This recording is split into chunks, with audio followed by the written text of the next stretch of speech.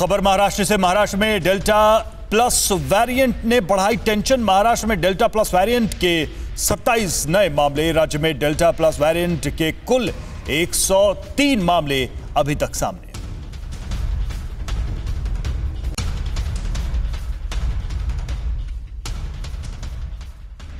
अड़ी, सोमवार से शुक्रवार शाम छह बजे, सिर्फ़ टीवी नाइन भारतवर्ष पर।